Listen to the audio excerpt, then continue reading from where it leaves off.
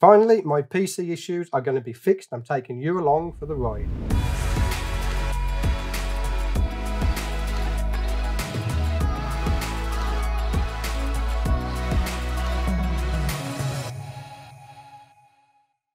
So anyone who has subscribed to the channel knows very well I've had PC issues over the last couple of months.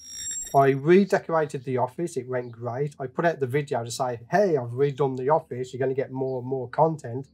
But literally, just after I did that, this happened. And it was the first of many issues that started to plague my old system. There's not much actually wrong with my old system. It's just it's eight years old and what I'm asking it to do is just out of reach of what it's capable of doing.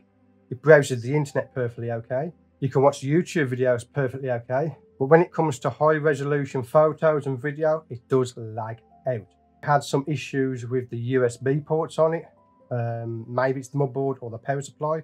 But apart from that, there is nothing wrong with the old system. And I can't moan. This system is old, but it has been running my business. So I can't really complain on that foot when it comes to the old system.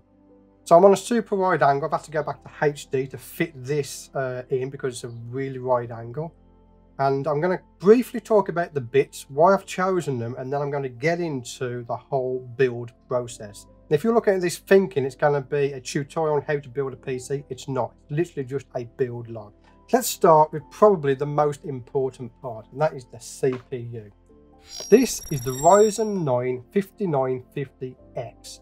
16 core, 32 threads monster. That is going to power through any of my editing in the future. To go with it, we have 64 gigabytes of RAM. This is from Patriot. I had very, very limited options on RAM. I did want 128 gigs in there, but there's no kits available. The um, the Corsair Dominator that I wanted, there's none available. Literally, there is a shortage of RAM at the moment, as well as graphics cards, which we'll get onto in a minute. We're going to be putting in a Western Digital 1 terabyte NVMe M.2 drive. This is a Gen 4 drive, so it's going to be very, very quick. All of that is going to be placed into this bad boy here. This is an Asus ProArt B550 Creators motherboard. What makes it a Creators motherboard? Well, this has Thunderbolt 4 on it, which is great for future connectivity and upgradability for external hard drives in the future. We're going to be cooling the CPU with the Be Quiet Dark Rock Pro 4. Now, Be Quiet have sent this over to me free of charge, so I want to thank Be Quiet for helping to support the channel.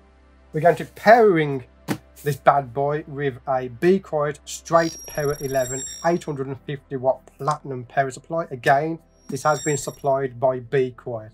And again, I want to thank them. And all of this goodness is going into this case. This is the Be Quiet Pure Base 500DX. Again, this has been supplied by Be Quiet. I've also treated myself to some nice new headset, a wireless headset for editing. That's going to come in very handy. And we have a Seagate 6TB backup drive. More about this in the next video.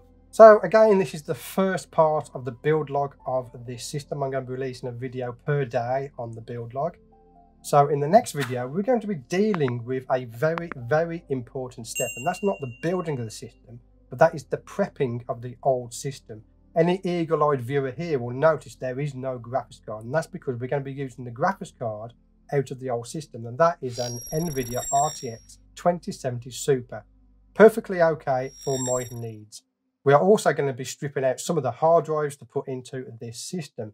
So before we can do that, I need to prep the old system, back up my data, and pull out the old stuff. And that's what we're going to be doing in the next part of this video series.